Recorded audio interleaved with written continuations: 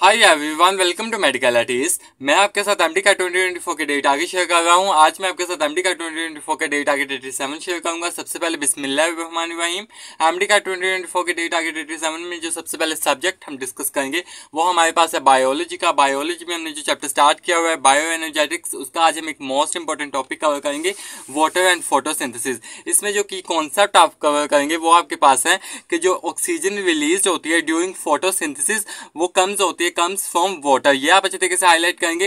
Then हमारे पास यहाँ aerobic respiration का यहाँ पे कॉन्सेप्ट लिखा हुआ है, उसका आप अच्छे तरीके से कवर करेंगे. देन इसमें आप मोस्ट इंपॉर्टेंट वेन नील की हाइपोथेसिस आप कवर करेंगे. इसमें जितनी भी इंफॉर्मेशन वेन नील हाइपोथेसिस की लिखी हुई है, उसको आप अच्छे तरीके से कवर करेंगे. ये मोस्ट इंपॉर्टेंट है. इसमें जितनी भी इंफॉर्मेशन वो सारे आपके मोस्ट इंपॉर्टेंट एमसीक्यूज हैं.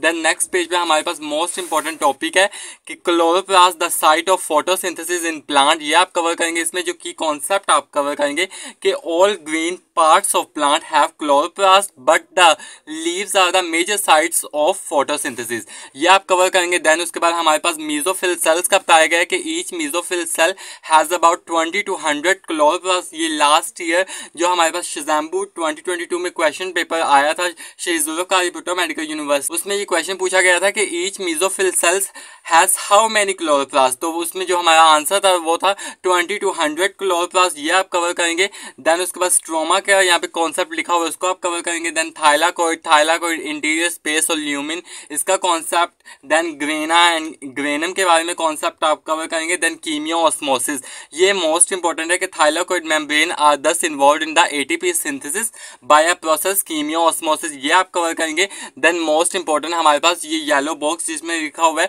कि जो फोटोसिंथेटिक प्रोकैरियोट्स हैं, वो लैक करते हैं क्लोरोप्लास्ट को ये आप अच्छे तरीके से हाईलाइट करेंगे. आज का आपका जो बायोलॉजी का टॉपिक है, वो आपके पास सबसे पहले वाटर एंड फोटोसिंथेसिस जिसमें वेन नील हाइपोथेसिस है एंड नेक्स्ट पेज में हमारे पास chloroplast the site of photosynthesis in plants ये था आपका बायोलॉजी का टारगेट 87 देन हम केमिस्ट्री के टारगेट 87 की बात कर लें. देन हम केमिस्ट्री के टारगेट 87 की बात कर लें तो इसमें हमने जो चैप्टर स्टार्ट किया हुआ है गैसेस का, उसमें जो हमने सब टॉपिक स्टार्ट किया हुआ है चार्ल्स ला, उसको ही कंटिन्यू करेंगे. आज जो आप चार्ल्स ला का मोस्ट इंपॉर्टेंट टॉपिक कवर करेंगे, वो आपके पास है graphical explanation of Charles law ये मोस्ट इंपॉर्टेंट है, जिसमें हमारे पास कंफर्मेशन है, हमारे पास ग्राफिकल एक्सप्लेनेशन है, हमारे पास चार्ल्स ला की ये आप कवर करेंगे। इसमें जो हमारे पास ये ग्राफ गिवन है, उसके अकॉर्डिंग जितनी भी हमारे पास इंफॉर्मेशन गिवन है, उसमें जो मोस्ट इंपॉर्टेंट हमारे पास न्यूमेरिकल वैल्यूज़ हैं मैथमेटिकल एक्सप्रेशन है, उनको आप कवर करेंगे। जितने भी हमारे पास इसमें इंफॉर्मेशन उनको आप कवर करेंगे। आज का आपका जो केमिस्ट्री का टारगेट है, वो जस्ट एक ही टारगेट है graphical explain explanation of Charles law, ये था आपका केमिस्ट्री का टारगेट 87 देन हम फिजिक्स के टारगेट 87 की बात कर लें। देन हम फिजिक्स का टारगेट 87 की बात कर लें तो इसमें हमने जो चैप्टर स्टार्ट किया हुआ है वर्क एंड एनर्जी उसका मोस्ट इंपॉर्टेंट सब टॉपिक आज कवर करेंगे। Inter conversion of potential energy and kinetic energy ये मोस्ट इंपॉर्टेंट है। इसमें जितनी भी इंफॉर्मेशन हमारे पास potential energy and kinetic energy की लिखी हुई है, वो आप कवर करेंगे। जितने भी मैथमेटिकल एक्सप्रेशन गिवन है, वो आप अच्छे तरीके से कवर करेंगे। इस, ये मोस्ट इंपॉर्टेंट टॉपिक है। इसको सबसे पहले आप अपनी प्रोविंशियल बुक से कवर करेंगे। देन इसको आप अपनी ज्ञान पब्लिकेशन की बुक से कवर करेंगे। देन हमारे पास मोस्ट इंपॉर्टेंट जो फिजिक्स का टॉपिक आता है, वो हमारे पास है कंजर्वेशन ऑफ़ एनर्जी ये मोस्ट इंपॉर्टेंट है। इसमें जो आज आपकी कॉन्सेप्ट कवर करेंगे, वो आपके पास है लॉ ऑफ़ कंजर्वेशन की हमारे पास डेफिनेशन है। इसको आप कवर करेंगे।